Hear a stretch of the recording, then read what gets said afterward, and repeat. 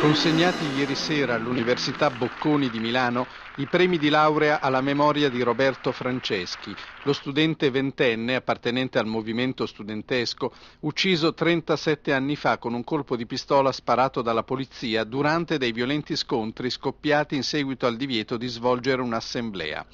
Quest'anno sono stati premiati i laureati che nella loro tesi hanno trattato le problematiche che riguardano il sottosviluppo, l'emarginazione, le povertà. Il lavoro di ricerca che ho svolto, Gender Medicine Indicatori di Gestione, si è posto l'obiettivo di indagare come l'erogazione e la cessione dei servizi sanitari di genere possano migliorare l'efficacia degli stessi. Ho laureato in discipline economiche e sociali qui in Bocconi.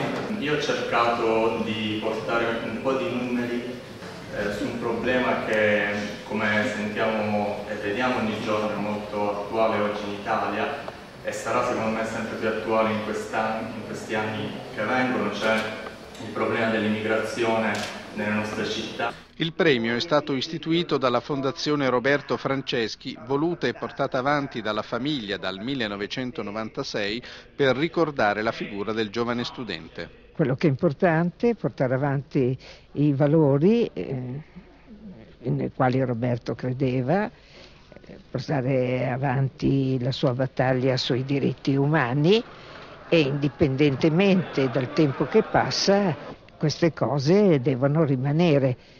Non ci sarà più la sua fisicità, però ci saranno le sue idee. Al termine della cerimonia di consegna dei premi, i giovani presenti alla serata hanno incontrato e dialogato con lo storico gruppo rock, la premiata Forneria Marconi. Siamo felici stasera di essere qua, proprio per toccare per mano. Noi quando avevamo con Ritalini abbiamo fatto tante di queste cose qua negli anni 70, all'inizio degli anni 70 ne abbiamo viste parecchie e stasera devo dire che sono abbastanza emozionato per questa cosa.